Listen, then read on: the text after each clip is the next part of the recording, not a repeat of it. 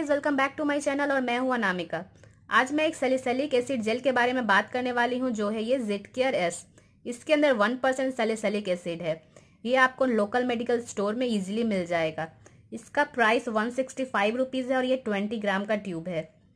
ये एक safe jail है जिससे आप रोज़ रात को सोने से पहले अप्लाई कर सकते हैं। ओवरनाइट छोड़ के इसे सुबह वॉश कर लेना होता है। इसमें कोई भी हार्मफुल केमिकल्स नहीं हैं। इस जेल को अप्लाई करने के 20-25 मिनट के बाद आप अपनी नाइट क्रीम भी यूज़ कर सकते हैं। Salicylic acid is a very good chemical peeling. Normal scrub से जो हमें नहीं मिल पाता है, वो हमें सेलिसलिक एसिड देता है। ये स्किन को बहुत अच्छे से एक्सफोलिएट करता है और डिस्कलेशन को भी रिड्यूस करता है। What is salicylic acid? Salicylic acid is A B H A beta hydroxy acid ये एक ऑयल सोलूबल होता है, जिसके कारण ये स्किन में डीपली पेनेट्रेट होता है।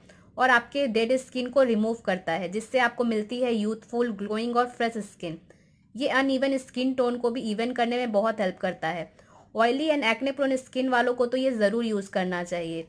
सेलिसिलिक एसिड यूज़ करने से blackheads and whiteheads की प्रॉब्लम पूरी तरह से चली जाती है.